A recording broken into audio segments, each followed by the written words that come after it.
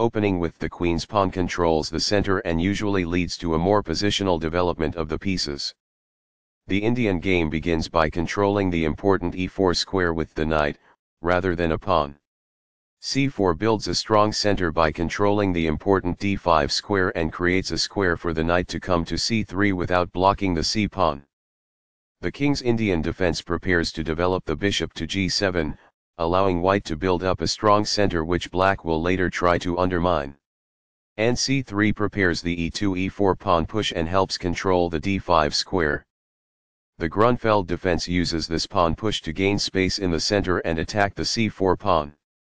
cx d5 opens up the center, after black recaptures with nx d5, white is prepared to answer with e2 e4.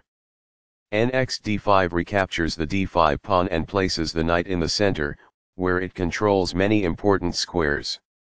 e4 takes full control of the center and attacks the knight on d5.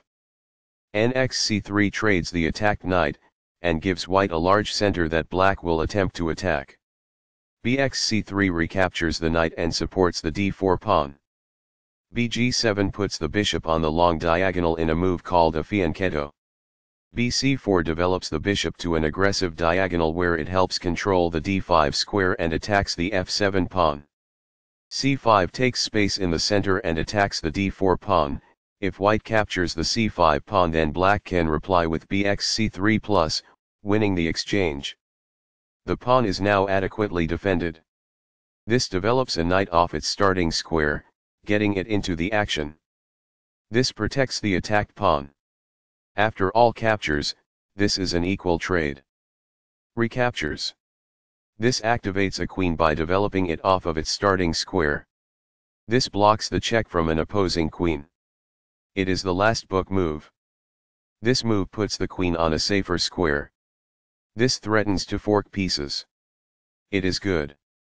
Castling gets the king to a safer square, out of the center of the board, while also developing a rook. Castling kingside tends to be safer because the king is further from the center. This threatens to kick a knight. This stops the opponent from being able to fork pieces. It is best.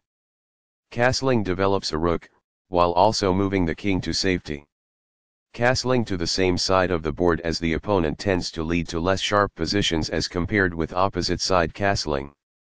It is good. There was only one good move in that position. This misses a better way to add a defender to a vulnerable pawn. This allows the opponent to kick a bishop. It is a mistake. This ignores an opportunity to kick a bishop. It is an inaccuracy. The rooks can see each other now, allowing them to provide mutual defense. It is best. This blocks the attack on a pawn that could have been captured. This is the only move that works. It is a great move. This move puts the pawn on a safer square. It is excellent. This maintains the balance in material with a good trade. This is the only good move. It is best. This ignores an opportunity to recapture a piece. This permits the opponent to create a passed pawn. It is a mistake. Capturing that bishop wins material. It is best. This defends a knight that was under attack and had no defenders. It is best. This is not the best. It is an inaccuracy. This overlooks an opportunity to threaten winning a queen. It is an inaccuracy. This misses a great but hard to find move. It is a mistake. The rook is now on an open file, which helps control squares across the board. It is good. This allows the opponent to win a tempo by threatening a knight. It is an inaccuracy. This attacks a knight, winning a tempo when it moves away. This is the only move that works. It is a great move. This ignores a better way to defend a knight that was under attack. It is a mistake. This defends the attacked rook. This is the only good move. This threatens to force eventual checkmate. It is a great move. Smooth one player took the advantage and never let go.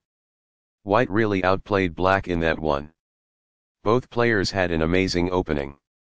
White overpowered black in the middle game.